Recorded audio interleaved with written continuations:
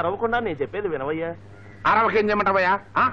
అరవద్దని చెప్పడానికి నువ్వెవరిది నా రక్తం రైల్లో బొగ్గులాగా మండిపోతుంది. ఇలా నోట. అసలైనా ఆడు ముద్దు పెట్టుకుందే నీ కూతురును నీ పిల్లలు కదయ్యా? నా కూతురుని. అసలు అసలు ఈ ముద్దు వస్తుందని పోగులు పడ పారిపోతాడు ఆగో. నువ్వు గట్టిగా పట్టుకో. ఉమ్, నా- నీకేమైనా పిచ్చెక్కిందా నిజంగానే పిచ్చెక్కింది. కంగారు పడకు. చూడు కనకే నీ కుటుంబానికి జరిగిన అవమానం మేమంతా చూసాం పంచాయతీలు పెడదాం.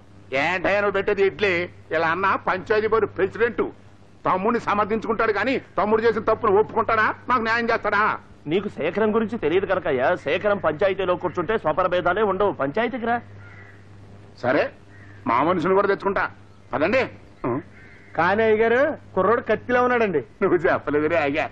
అవునా మన పంచాయతీ కోఆపరేటివ్ స్టోర్స్ మంచి ఫలితాన్ని ఇవ్వటం వల్ల మన జిల్లాలో ఉన్న మిగతా పంచాయతీ వాళ్ళు కూడా కోఆపరేటివ్ స్టోర్స్ ఓపెన్ చేయాలని ప్రయత్నాలు చేస్తున్నారు. ఇది మన పంచాయతీకి గర్వకారణం. అవునవును. ఒక మంచి జీవితాన్ని పూర్తిగా సమాధి చేసిన ఘనత కూడా మన పంచాయతీకే దక్కింది. కనకయ్య. ఎందుకలా అరుస్తావు? ఊరు మధ్య పంచాయతీ దుకాణం పెట్టి కనకయ్య కడుపు కొట్టారు ఊరి చివరైన పరువే పత్తలు కొట్టారు. రామ్మూర్తి. అసలు ఏం జరిగిందో చెప్పకుండా నోటికొచ్చినట్టు మాట్లాడటం పెద్ద మనుషుల లక్షణం కాదు. ఏం జరిగిందో చెప్తే నీ నోరే పడిపోతుంది. ఏం జరిగింది? కనకయ్య గారి అమ్మాయి మన ఊరి అబ్బాయి మన ఊరి చివరి తోటలో. ఆ, ఊరి చివరి తోటలో? ప్రేమ కలాపాలు సాగిస్తూ సాగిస్తూ. సాగిస్తూ అంటూ సాగదీస్తావేటయ్యా చెప్పు. అవ్వా అవ్వా. దాన్ని ప్రేమ కలాపాలు సాగించడం అంటారటండి మూల కూర్చున్న పిచ్చి పిల్లకి మాయ మాటలు చెప్పి రోడ్డుకు లాగాడు మాట్లాడరేంటండి? చూసేవాళ్ళు చెప్పొచ్చు కదా? కన్న తండ్రి నేనే సిగ్గు విడిచి చెప్పు చావాలా ఎవరా అబ్బాయి? ఆడపిల్లతో కట్టు తప్పి ప్రవర్తించిన ఆ కుర్రాడెవరు? ఆ కుర్రాడి పేరు చెప్తే మాకు న్యాయం జరుగుతుందనే నమ్మకం లేదు. పది మందికి న్యాయం పంచివ్వటానికే ఈ పంచాయతీ ఉంది. ఆ కుర్రాడు ఎవరైనా పర్వాలేదు. పేరు చెప్పండి. అతనెవరో కాదు. నీ తమ్ముడు విజయ్. విజయ? మీ తమ్ముడిని అచ్చోసిన ఆంబోతులా ఊరి మీద వదిలిపెడితే ఈ ఊళ్ళో ఉన్న ఆడపిల్లల గత ఏమిటి చెప్పు. ఏమవుతుందండి? ఆలబాబు కూడా నాలాగే నెత్తిని చెంగేసి కూర్చుంటాడు. కాస్త తేడా పాడా వచ్చిందనుకోండి పురుళ్ళు పోసి ఆసుపత్రి చుట్టూ తిరుగుతూ ఉంటాడు. అయ్యా శాఖన బాబు ఎంతెందుకు మీ పంచాయతీ సొమ్ములో పది రూపాయలు ఖర్చు పెట్టి అంత విషం మా కుటుంబానికి ఇప్పించండి తేడా వదిలిపోతుంది. బాబాయ్ ఇలారా? ఈ కుర్చీలో కూర్చో. బాబు నేనా? అవును బాబాయ్ ఇది మా కుటుంబం మీద వచ్చిన అభియోగం. నేను విచారణ చేయకూడదు. నువ్వే విచారణ చేయాలి. పంచాయతీ ప్రెసిడెంట్కైనా పాలికాపుకైనా ఒకటే న్యాయం జరుగుతుంది ఈ చావిట్లో ఈ కుర్చీలో కూర్చునే మనుషులు మారొచ్చు కానీ న్యాయం మారకూడదు. రా బాబాయ్ కూర్చో. ఆ బాబాయ్ నువ్వు కూర్చోబెట్టే మట్టి బొమ్మ. నువ్వు ఆడమన్నట్టు ఆడతాడు. ఆ ఏ గూటి చిలక ఆ గూటి పలికే పలుకుతుందండి. మీరు నోటికొచ్చినట్టు మాట్లాడకండి. తన తమ్ముడి మీద ఫిర్యాదు రాగానే ఆ బాబు కుర్చీలోంచి లేచి ఆ కుర్చీ మరొకరికి ఇచ్చారు. అర్థం చేసుకోండి. ఏమిటే అర్థం చేసుకునేది? ఆ సీట్ నీకు ఇచ్చాడా నాకు ఇచ్చాడా తన చేతి కింద మనిషికి ఇచ్చి ధర్మం చెప్పమంటున్నాడు. అది అతను తెలివితేటలు.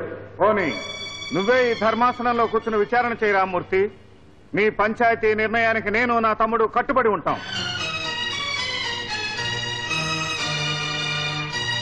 కోడి రామూర్తి గారికి? జై!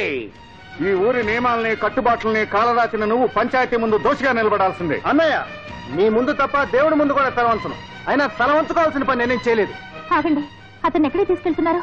లక్ష్మి ఈ విషయంలో నువ్వు జోక్యం చేసుకోవద్దు. పంచాయతీలో పది మందికి తీర్పు చెప్పాల్సిన నన్ను తల వంచుకునేలా చేశాడు నీ మరిది. అంత కాని పని అతను ఏం చేశాడో? ఏం చేశాడో ఊరంతా చూశారు. ఒక ఆడపిల్ల జీవితాన్ని అల్లరిపాలు చేసిన విజయ్ పంచాయతీ విధించే శిక్షను అనుభవించి తీరాల్సిందే. లలిత నేను ప్రేమించానే కానీ ఆమె జీవితాన్ని అల్లరిపాలు చేయలేదు. మీ ఆశీర్వచనం ఉంటే చాలు. ఈ పంచాయతీయే కాదు ఊరు ఊరంతా కాదన్నా సరే లలిత నేను పెళ్ళి చేసుకుంటాను. ఈ పెళ్ళి జరగటం అసంభవం. ఎందుకండి అంత కోపం? లక్ష్మి కల్తీ కనకయ్య ఎలాంటి వాడో ఊరందరికీ తెలుసు. తన లాభాల కోసం పసిపిల్లల ప్రాణాలు తీయటానికి కూడా వెనకాడిన దుర్మార్గుడు. అలాంటి వాడింటికి విజయ్ అల్లుడు కావటానికి ఎట్టి పరిస్థితుల్లోనూ వీల్లేదు. కనకయ్య ఎలాంటి వాడైనా పిల్ల మంచిదండి. గంజాయి వనంలో తులసి మొక్కలాంటిది అలా కాకపోతే వెనక ముందు ఆలోచించకుండా విజయ్ మనసివ్వడం అలా కాక వాడు తీసుకునేది తొందరపాటు నిర్ణయం అయితే వాడి జీవితం సర్వనాశనం అవుతుంది లక్ష్మి. మీరు కోపం తెచ్చుకోనంటే ఒక్క మాట. మీరు మీ తమ్ముడు గురించే ఆలోచిస్తున్నారు కానీ అల్లరి పడ్డ ఆడపిల్ల జీవితం గురించి ఆలోచించడం లేదు. లక్ష్మి. అవునండి. పంచాయతీ విజయ్ని అపరాధిగా నిర్ణయించి శిక్షించగలదేమో కానీ లలిత మీద పడ్డ మచ్చను తొలగించలేదు. లలితకు న్యాయం చేయలేదు. అందువల్ల పంచాయతీ తమ నిర్ణయాన్ని ప్రకటించకముందే వాళ్ళిద్దరికీ పెళ్ళి చేసి మీ విశాల హృదయాన్ని చాటండి. ఇంకా ఆలోచిస్తున్నారేమిటండి?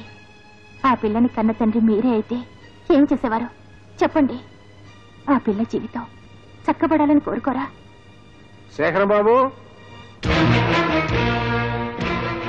రండి బాబాయ్ లోపలికి రండి. మేమిక్కడ మర్యాదలు అందుకోవడానికి రాలేదు. చెప్పబెట్టయ్య గుమాస్త చెప్పు. అలా చూస్తూ నిలబడతావేమిటయ్యా ఆ పంచాయతీ విషయం ఆయనకి చెప్పు. బాబు రేపు ఉదయం పది గంటలకు పంచాయతీ. విజయబాబుతో పాటు మీరు రావాలి. అప్పుడే పంచాయతీ జరుగుతుంది. విచారణ తర్వాత శిక్ష అక్కడే అమలు జరుగుతుంది. పెద్దలందరూ ఇక్కడికే వచ్చారు కనుక నాదొక్క మనవి. పంచాయతీలో విజయ్కి ఎలాంటి శిక్ష విధించినా కనకయ్య కూతురు మీద వచ్చిన మచ్చ మార్చిపోదు అంత మాసిపోని మర్చేశాడు మీ తమ్ముడు. అందుకే వెంటనే లలితకి విజయ్కి పెళ్ళి జరిపించాలి. అప్పుడే ఆ పిల్లకి న్యాయం జరుగుతుంది.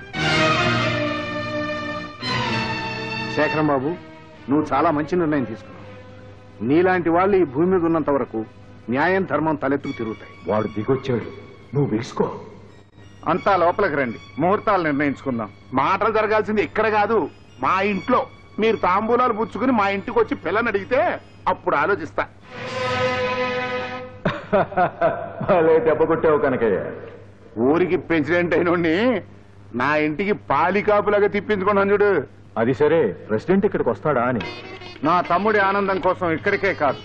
నడి రోడ్డు మీదకి రమ్మన్నా సంతోషంగా వస్తాను. తాంబూలాలు తీసుకో. తాంబూలాలు పుచ్చుకోబోయే ముందు మాట్లాడుకోవాల్సిన విషయాలు చాలా ఉన్నాయి. అవన్నీ పెద్ద మనిషిగా ఈయన నా తరఫున మాట్లాడతాడు. చూడండి శేఖరం గారు మీరు విజయ్ సవత అన్నదమ్ములని అందరికీ తెలుసు.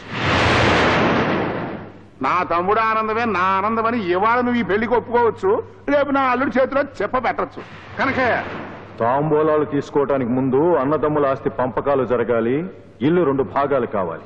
రెండు భాగాలు అయ్యేది మా ఇల్లు కాదురా నీ శరీరం. విజయ్! అది ఉండనయ్యా సవితానదమ్ములు అన్న మాట వీడి నోటమ్మట వచ్చినందుకు నాలుగు చీల్చేస్తా. విజయ్! అతను అనకపోతే మాత్రం మీ ఇద్దరు సవితానదమ్ములు కాకుండా పోతారా? చూడు విజయ్ ఈ ఆస్తి పంపకాలు జరిగితేనే ఈ పెళ్ళి జరుగుతాయా బాగా చెప్పారు. ఆ,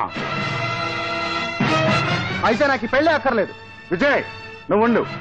కనకయ్య ఆస్తి పంచడానికి నాకేం అభ్యంతరం లేదు. కావాలంటే ఆస్తి అంతా విజయ్ పేరే రాస్తాను. నో! అలా జరగటానికి వీల్లేదు. మా శరీరాల నుంచి మా ఆత్మలు వేరు కావచ్చు. మా నుండి మా నీడలు వేరు కావచ్చు. కానీ మా అన్నదమ్ములు ఇద్దరం విడిపోము విడిపోలేము. విజయ్ మనసులో మమకారాలే నాన్నగారు మనకిచ్చిన ఆస్తి. వాటి పంపకాలను వీళ్ళెవరూ చేయలేరు.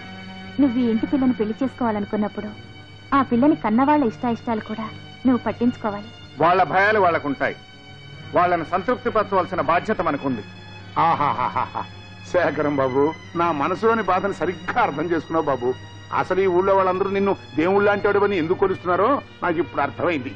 దేవుళ్ళు అంటాడంటే దేవుడే. ఈ మాటల్లో మాత్రం కల్తీ లేదులేండి. మనసులో నుంచే చెప్తున్నారు. ఎవరి మనసులో ఏమన్నా నేను ఈ పంపకానికి అంగీకరించను. విజయ్ నువ్వు కాదనేది పంచాయతీ నిర్ణయాన్ని పంచాయతీ పెద్దల మాటను. పంచాయతీ పెద్దలు నాకు ఏ శిక్ష విధించినా సరే షరతులతో కూడిన ఈ పెళ్ళి నాకు అక్కర్లేదు. విజయ్. నువ్వు ఒక్కడవే నిర్ణయం తీసుకుని వెళ్తే ఎలా? నేను చెప్పేది కూడా విని వెళ్ళు. ఏమిటది? ఆ, మన ఇద్దరు ప్రేమించుకున్నాం పెళ్ళి చేసుకోవాలని కూడా నిర్ణయించుకున్నాం. ఇప్పుడు ఈ నిర్ణయం కూడా మనమే తీసుకోవాలి. పెద్దలందరూ వినండి. ఇద్దరు అన్నదమ్ములు విడగొట్టి ఓ ఇంటిని రెండుగా చేల్చడం మేము ఒప్పుకోం. అలా జరిపించే పెళ్ళి విజయ్కే కాదు. నాకు ఇష్టం లేదు. ఇదే మా ఇద్దరి నిర్ణయం. అసలు మేము పెళ్ళి చేసుకోం. ఆహా పులిపిల్ల చెప్పిందండి. ఏ లలిత నువ్వు నోరు మూసుకో. వ్యవహారం ఇంత దూరం వచ్చాక ఆమె నూరు ఎందుకు మూస్తారమ్మా? పంపకాలు కోరేది ఏజెంట్ అయినా హాయిగా బతకడానికి